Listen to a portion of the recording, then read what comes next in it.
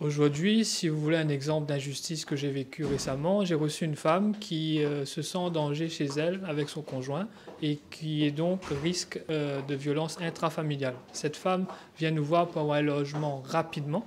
Malheureusement, aujourd'hui, la ville de Saint-Denis a 10% du contingent des réservataires lors des commissions d'attribution. Cela veut dire concrètement que sur l'année 2021, pour les 1400 attributions qui ont eu lieu sur la ville de Saint-Denis, nous avons eu que 10% de, ces, euh, de ce contingent pour 8400 demandes qu'on a reçues.